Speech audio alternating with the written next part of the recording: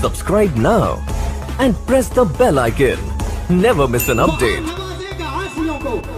نبی کا پیارا ہمارا خواجہ یہاں بھی ہوگا وہاں بھی ہوگا اور یہاں بھی ہوگا وہاں بھی ہوگا اور میرا عقیدہ یہ کہہ رہا ہے تو نجدی بیکار چل رہا ہے رضا کے مسلک کا پیارا نعرہ یہاں بھی ہوگا، وہاں بھی ہوگا۔ رضا کے مسلک کا پیارا نعرہ یہاں بھی ہوگا، وہاں بھی ہوگا۔ حضرات، اب بلا کسی تاخیر کے آئیے اس عظیم المرتبت شخصیت کا استقبال کرتے ہیں کہ جب وہ اپنی خوبصورت گفتگو کو آیات قرآنیہ اور احادیث نبویہ کے دلائل سے سزا کر سمار کر مذاہب ادیان باطلہ۔ والصلاة والسلام علی سیدنا محمد خیر الورا۔ وعلى آله وأصحابه النجباء إلى يوم الجزاء. أما بعد، فأعوذ بالله من الشيطان الرجيم. بسم الله الرحمن الرحيم. ووصينا الإنسان بوالديه إحسانا. حملته أمه كرها ووضعته كرها. حمله وفصاله ثلاثون شهرا. آمنت بالله صدق الله العظيم وصدق رسوله النبي الكريم. ونحن على ذلك لمن الشاهدين والشاكرين والحمد لله رب العالمين. ایک بار ادب سے درود شریف پڑھیں۔ اللہم صلی علی سیدنا و مولانا محمد معدن الجود والکرم وآلہ وبارک وسلم صلاة و سلام علیک یا رسول اللہ. عظمت والدین کانفرنس اپنے آب و تاب کے ساتھ منعقد ہوئی اور انتہائی کامیابی کے ساتھ اب اختتام پذیر ہونے والی ہے۔ جس محبت کے ساتھ مرحومہ کے صاحبزادوں نے اور ان کے شوہر نامدار نے جناب حبیب الرحمن خان نے ان کیا ہے وہ مسئلہ کی اعلیٰ حضرت کیا ہے۔ چلیے، اس فتنے کو روکنا بڑا مشکل ہے۔ البتہ میری طرف سے پوری ناراضگی کا اظہار ہے کہ یہ ساری چیزیں خرافات واحیات ہیں۔ آدمی ایک گھنٹہ تقریر سنے اور دل کے گہرائی سے سنے، موبائل میں ریکارڈ نہ بھی ہو، اس قدر دل میں نقش ہو جائے کہ زندگی کی آخری سانس تک باقی رہے۔ اور موبائل میں ڈاؤن لوڈ ہے۔ اور اس کو سن ہی نہیں رہا شیطان تو یہی چاہتا ہے کہ یہ محفل نور، روحانیت سے بھری محفل بھی کھیل اور تفریح بن گئی دنیا میں کس جگہ پہ روحانیت باقی۔ فلم حال میں کیا ہوتا ہے سب کو معلوم۔ نیتاؤں کی محفل میں کیا ہوتا ہے سب کو معلوم۔ جھوٹ کی کھیتی جہاں ہوتی ہے، اسے نیتاؤں کی محفل کریں جہاں ناچ گانے ڈانس کھیل تفریح ہے وہ سنی محال کھیلیں سرکس میں کیا ہوتا ہے سب کو معلوم۔ شادی بیاہ کی محفلوں میں کیا ہوتا ہے سب کو معلوم۔ خالص، پیورلی جنتی روحانی محفل ایک یہ جلسہ ہی رہ گیا۔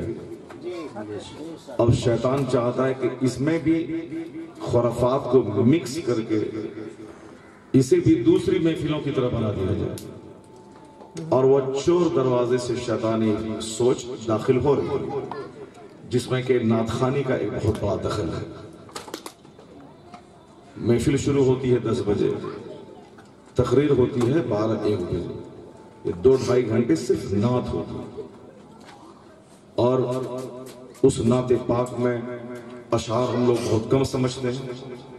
صرف دھن، لہجہ، فلمی اسٹائل اور طرز پہ پڑھ جانے والے نعتیں نوجوان بچوں کو جس میں کہ نعت کی آڑ میں گانے کا مزہ مل جائے تو وہ چیزیں اب روحانیت کو ختم کر رہی آج سے پچاس سال پہلے بھی تقریریں ہوتی تھی کانفرنسیں ہوتی تھی علامہ رسول قادری علیہ رحمہ، علامہ مشتاق نظامی رحمۃ اللہ علیہ۔ یہ سارے بزرگ خطاب کرتے تھے، نعت صرف پانچ اشعار کی کوئی شاعر پاتا تھا، ڈھائی تین گھنٹے کی خطاب کیڑے بہت ہو رہے ہیں۔ ڈھائی تین گھنٹے کا خطاب ہوتا تھا۔ نعت ہوتی تھی، جس طرح شروع میں تلاوت ہو گئی اب قرآن سے بہتر اور کس کا کلام ہے کہ آدمی ایک لاکھ روپے کی دوائی کھاتا رہے، وہ فائدہ بدن کو نہیں پہنچتا ہے، جو چار گھنٹے کی گہری نیند سے پہنچتا ہے۔ آدمی ایک دن دن بھر دکان میں بارہ گھنٹے وہ رہے، آٹھ گھنٹے رہے۔ تھک کر چور ہو جاتا ہے۔ دماغی طور پر بھی جو پلان وہ بنایا تھا، وہ پلان پورا نہیں ہوا، دماغ چور چور ہو جاتا ہے۔ کل کل سامان بکا تھا دس ہزار روپے کا اور آج بکری ہوئی پانچ ہزار روپے کی۔ آدمی ذہنی طور پر چور چور ہو جاتا ہے۔ اور اگر اس کے مطلب کے مطابق کاروبار ہوا، تو وہ اندر سے خوش رہتا ہے۔ اور دن بھر اس کا ہاتھ، پاؤں، زبان، آنکھ اس سارے پارٹس آف باڈی اس کے حرکت میں رہے۔ تو آدمی کی آنکھیں بھی تھکتی ہیں بار بار دیکھنے سے، زبان بھی تھکتی ہے بار بار بولنے سے۔ ہاتھ اور پاؤں میں بھی ٹائٹنس آتا ہے ہاتھ اور پاؤں سے کام کرنے سے۔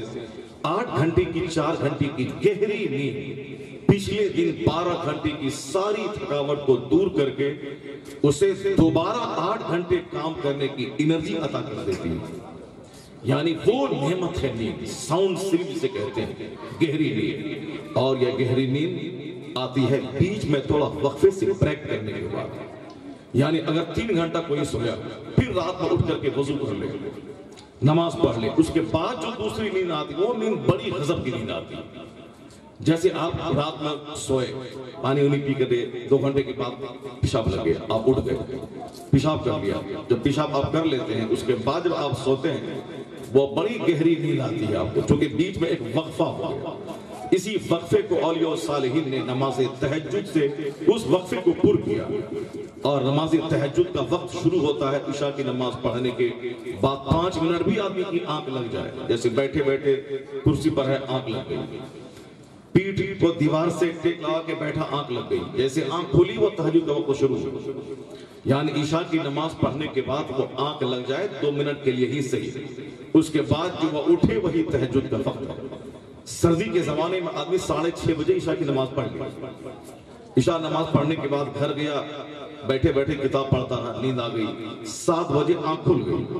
اب وہی اس کے لیے تہجد کا وقت ہے۔ تو تہجد کا وقت عشاء کی نماز کے بعد سونے کے بعد اٹھے۔ وہ تہجد کا وقت ایک وقفہ ہے، ایک لیو ہے، ایک لیزر دیتا ہے۔ اور نیند کو بریک کر کے آنے والی نیند کو ساؤنڈ کر دیتا ہے۔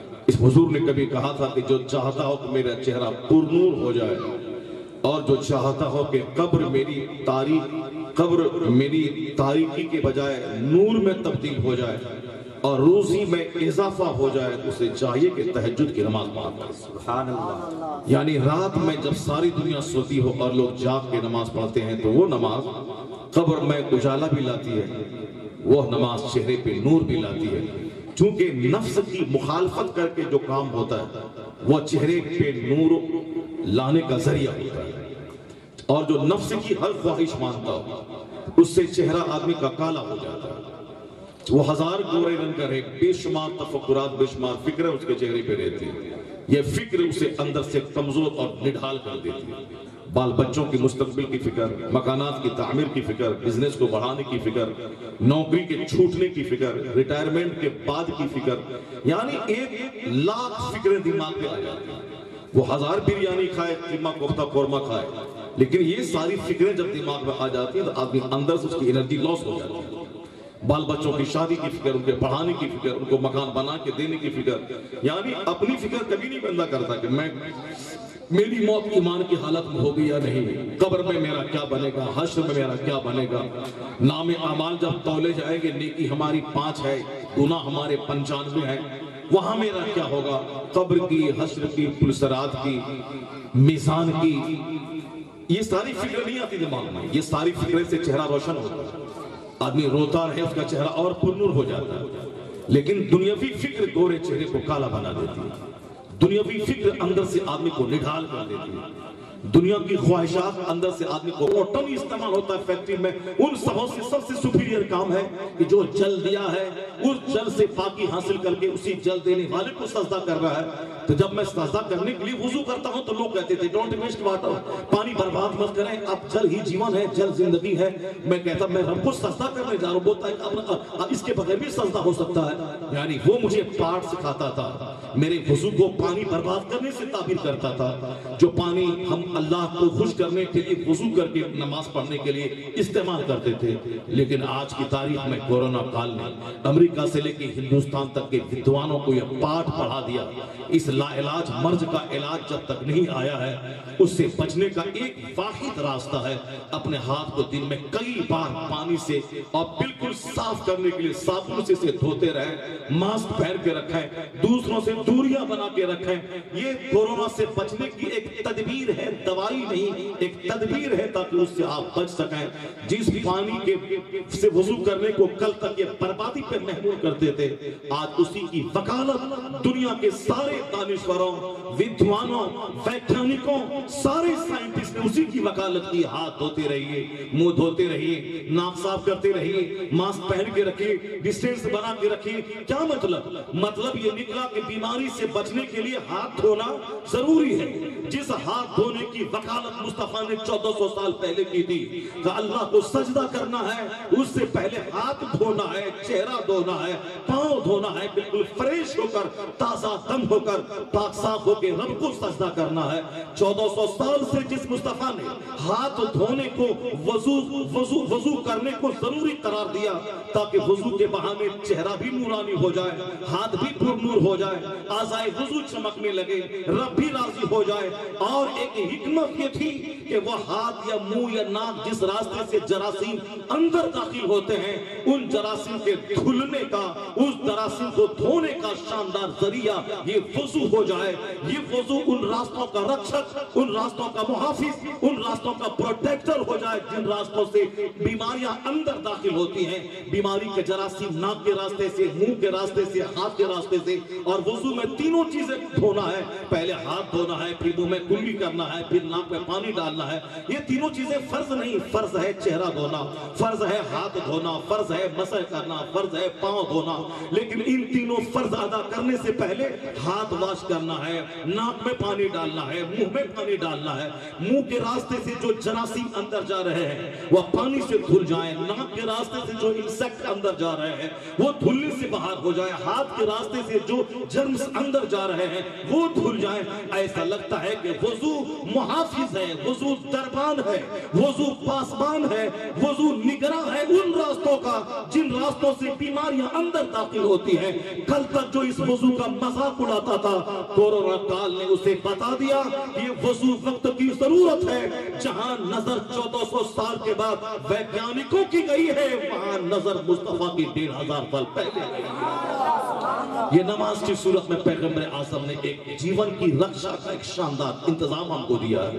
جو نماز ایک شاندار ایکسرسائز بھی ہے، جو وضو ایک بہترین بیماری سے بچاؤ کا شاندار ذریعہ بھی ہے۔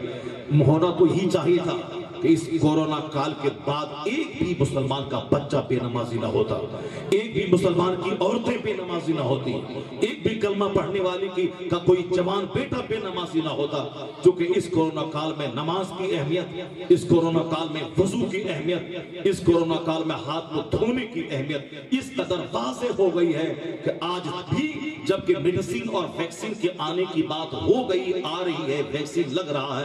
جب ویکسین لگ رہا ہے، میڈیسین آگے پھر یہ کیوں کہا جا رہا ہے کہ ایک میڈیسین بھی لیجیے دوائی بھی اور کڑائی بھی۔ یعنی پہلے تو جب, جب تک دوائی نہیں تب تک کوئی ڈھلائی نہیں۔ اور اب یہ نعرہ ہے اسلوگن کہ دوائی بھی اور کڑائی بھی۔ یعنی دوائی بھی لینی ہے ماسک بھی پہننا ہے۔ میڈیسین صاحب ویکسین بھی لینا ہے ماسک بھی پہننا ہے۔ ویکسین بھی لینا ہے ہاتھ میں دھوتے رہنا ہے۔ ویکسین بھی لینا ہے اور سوشل ڈسٹینسنگ بنا کے رکھنا ہے۔ اس کا مطلب ہے کہ دوائی آ گئی ہے مگر اس دوائی پہ بھروسہ نہیں ہے۔ اعتبار نہیں کہ دوائی یہ ویکسین آدمی کو بیماری سے بچا ہی دے گی۔ یہ سارے لوگ یہ بولتے ہیں، چائنا، جاپان، امریکہ، کچھ لوگ کہتے ہیں ہندوستان کے لوگوں کی سیاست ہے رمضان آنے والا ہے، پھر لاک ڈاؤن ہونے والا ہے، پھر یہ ہے، وہ ہے۔ ایسا نہیں کہ ہندوستانی کوئی سازش ہے۔ یا یہ یہ باتیں پاکستان میں بھی ہیں، یہ آپ کو پسند ہے آجزی اور خاکساری بیماریاں، یہ رسوائیاں، یہ بدحالیاں، یہ ساری چیزیں انسان کی اوقات یاد دلانے کے اللہ نے کیا فرمایا؟ فَلْيَنْزُرِ الْإِنسَانُ مِمَّا خُلِقَ مِن مَّاءٍ دَافٍ يَخْرُجُ مِن بَيْنِ الصُّلْبِ وَالتَّرَائِبِ إِنَّهُ عَلَى رَجْعِهِ لَقَادِرٌ اللہ ان آیتوں میں کیا فرماتا ہے؟ قرآن جو treasure of knowledge and wisdom ہے، علوم و فنون کا خزانہ. وہ قرآن جو mountain of knowledge and wisdom علم و حکمت کا سر چشمہ ہے، جہاں سے سارے علوم کا سوتا پھوٹتا ہے، وہ ہے کلام الہی. کلام الہی چودہ سو سال پہلے اس دنیا میں نازل ہوئی وہ ہمیشہ سے اللہ کا کلام ہے۔ لیکن اس دنیا میں نازل ہوا ہے وہ کلام چودہ سو سال پہلے اللہ نے اپنے محبوب سرکار دو عالم علیہ السلام پہ نازل فرمایا۔ تو نزول کے اعتبار سے قرآن پاک کے بارے میں کہا جاتا ہے کہ پندرہ سو سال پہلے یہ کلام نازل ہوا۔ جس زمانے میں کالج نہیں تھا، یونیورسٹی نہیں تھی، کوئی اسکول نہیں تھا، کوئی تجربہ کار نہیں تھی، کوئی ریسرچ سینٹر نہیں تھا۔ ریسرچ کا نام دنیا نہیں جانتی تھی۔ مٹھی پر چند لوگ لوگ لکھنا پڑھنا جانتے تھے۔ وہ پورے ہندوستان میں کالج نہیں تھا، یونیورسٹی نہیں تھی، ایک اسکول تک نہیں تھا۔ جو- لوگ پڑھے پڑھے لکھے ہوتے تھے، انہی کے پاس ان کے گھر پہ جا کے چند لوگ گرو اور شش کا رشتہ تھا جا کے پڑھ لیتے تھے۔ یعنی مٹھی بھر چند لوگ اس دنیا میں پڑھے لکھے تھے۔ اس زمانے میں قرآن کریم میں جو تحقیقاتی باتیں بیان کی گئی ہیں، جو تحقیق کا انویسٹیگیشن کا جو پیغام دیا گیا ہے، یہ بھی بہت سخن قدروں کا وشے ہے یعنی انسان کو قرآن کریم پر مضبوط یقین اور اعتماد اللہ رب العزت کی ذات پر مضبوط فیت اور وشواس مذہب اسلام کی ریئلٹی اور اس کے فیکٹ پر یہ آدمی کا اٹوٹ وشواس، یہی ریسرچ اسے کلمہ پڑھنے پر مجبور کر دیتی ہے۔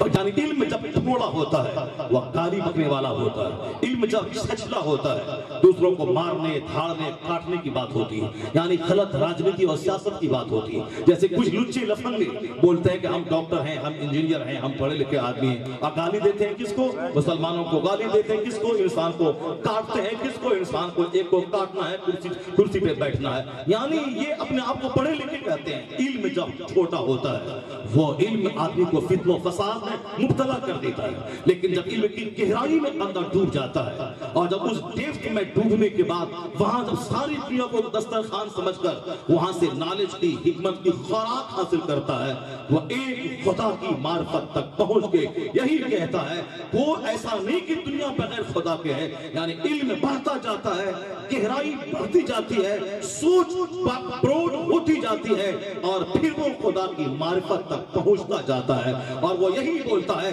ایسا ایسا اپروپریٹ اس قدر شاندار نظم، ایسا حسن انتظام، ایسی کائنات کی ہم آنگی، ایسی سٹلٹی، ایسی کائنات کا رب، ایسا ایک دوسرے سے مربوط ہونا بغیر کسی بنانے والے کے ایسا حسین سسٹم ہو ہی نہیں سکتا ہے۔ فکر بڑھتی جاتی ہے زبان کہتی ہے، لا الہ الا اللہ محمد رسول اللہ یعنی کلمہ پڑھ کے لوگ مومن ہوتے چلے جاتے ہیں۔ علم جب چھوٹا ہوتا ہے تو نفرت سکھاتا ہے۔ علم جب ہلکا ہوتا ہے تو گنڈا گردی سکھاتا ہے۔ علم جب چھچلا سطحی قسم کا ہوتا ہے تو گھمنڈ اور غرور پیدا کر دیتا ہے۔ لیکن جب وہ علم گہرا ہو جاتا ہے، جب وہ خاموش سمندر کی طرح ہو جاتا ہے، جس طرف نگاہیں دوڑائے وہ اسی سے خطاب کرتا ہے۔ آسمان اسے ایک رب کا پتہ بتاتا ہے۔ زمین جو سمندر کے اوپر کھڑی ہے، یہ زمین اسے کھول کھول کر ایک خدائے واحد کا پتہ دیتی ہے۔ یہ درخت جو زمین کا سنگار ہے، جو ہمیں آکسیجن دیتا ہے، اس درخت پہ ریسرچ کرنے والا اللہ کا کلمہ پڑھ کے مومن بن جاتا ہے۔ یہ پانی، جو پانی، کھارا پانی سمندر سے بخارات بھاپ بن کر آسمان پہ جاتا ہے۔ پھر ایک پروسیس کے ذریعہ وہاں سے میٹھا بن کے برستا ہے، جس پانی میں شفا بھی ہے، جو پانی شاندار، مشروب ہے، شاندار ڈرنک ہے۔ بارش کا پانی رحمت. کافی سہارا لے لیا ہے در تمہارا خلق کے وارث خدا را، لو سلام، اب تو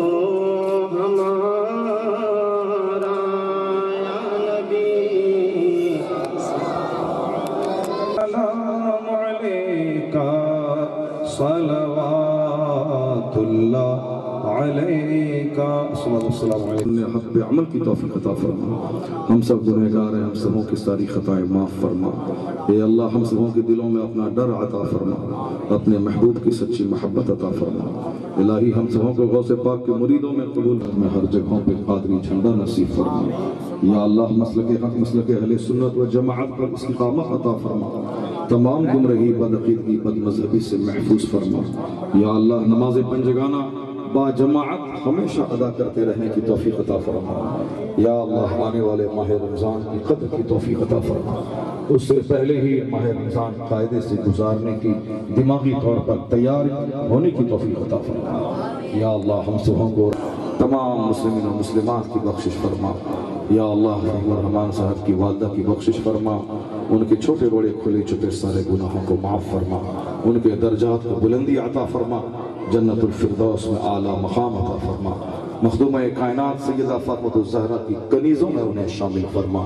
اے اللہ اپنے فضل سے پوری دنیا میں امن و امان فضل سے ہم سبوں کے گھروں میں امن، امان، سکون، سچی خوشی عطا فرما۔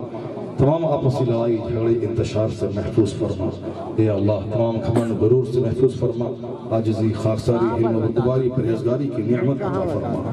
الہی ہم سبوں کو اپنے ماں باپ کی خدمت کی توفیق عطا فرما۔ یا اللہ ہم سبوں کی اولاد کو نیک اور صالح بننے کی توفیق عطا فرما۔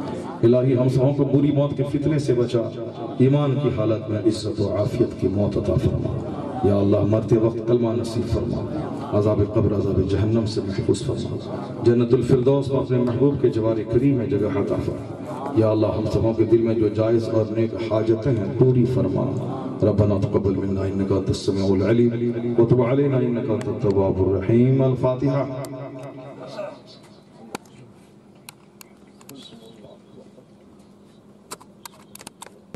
يا أيها الذين آمنوا صلوا عليه وسلموا تسليما اللهم صل على سيدنا ومولانا محمد معدن الجود والكرم وآله وبارك وسلم صلاة وسلاما عليك يا رسول الله سبحان ربك رب العزة عما يصفون وسلام على المرسلين والحمد لله رب العالمين آمين آمين آمين بحق لا إله إلا الله محمد رسول الله صلى الله عليه وسلم۔